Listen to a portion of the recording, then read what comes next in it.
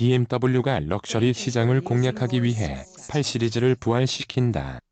쿠페와 컨버터블 형태로 나오며 이미 지난 3월 말 825, 830, 850, 845, 860 그리고 M850까지 8 시리즈와 관련된 이름을 상표 등록한 것으로 알려졌다.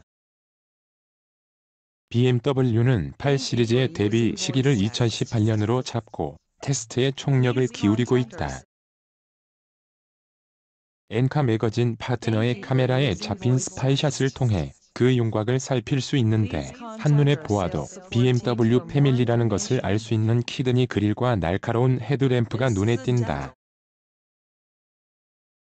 6 시리즈보다 roofline의 경사를 더 주어 스포티한 분위기이며 전통적인 쿠페와 fastback의 특징을 조합한 인상이다. 엔진은 직렬 6기통 터보를 시작으로 V8 4.4l twin turbo, V12 등이 유력하며 배출가스 규제에 따라 4기통 가솔린 터보와 모터를 결합해 670마력을 내는 플러그인 하이브리드 powertrain도 준비하고 있다. 럭셔리를 지향하는 만큼 장비들도 특별한데 반자율 주행 시스템을 비롯해 BMW가 7 시리즈에서 보여준 첨단 기술을 대부분 수혈받을 전망이다.